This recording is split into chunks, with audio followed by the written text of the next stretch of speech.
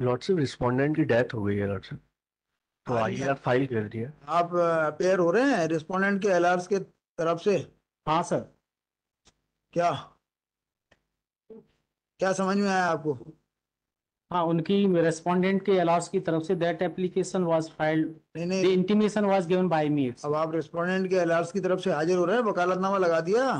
नहीं अभी वकालतनामा नहीं लगाया सर। तो क्या चाहते हो? आवेदन अलाउ करें खारिज करें? अलाउ कर लें सर। अच्छा तो आपको कोई आपत्ति नहीं है? नहीं। तो बिना वकालतनामा के आप आप ये लिख सकते हो कि मुझे कोई आपत्ति नहीं है? सर। यदि आप यदि यदि आपने जो है कोई आवेदन लगाया है तो आप जो है उनकी तरफ़ से वकालतनामा तो लगाओ। मैं वकालतनामा पेश कितना कितना डिले है? डिले है क्या आवेदन में? इन्होंने आवेदन पेश किए है सर सात आठ बाईस का एफिडेविट है इनका और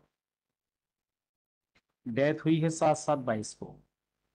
डिले नहीं है सर सात आठ बाईस सात सात बाईस। हम्म?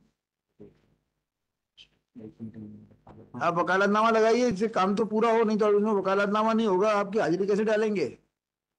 ठीक है सर। वकालतनामे के आपका नो ऑब्जेक्शन कैसे लिखेंगे? जी जी।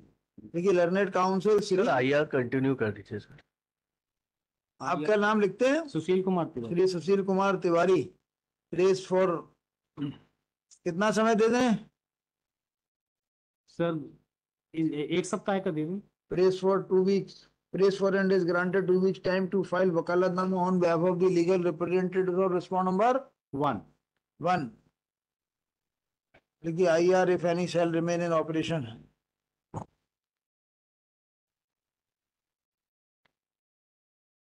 असमी चौहान हम्म, चौहान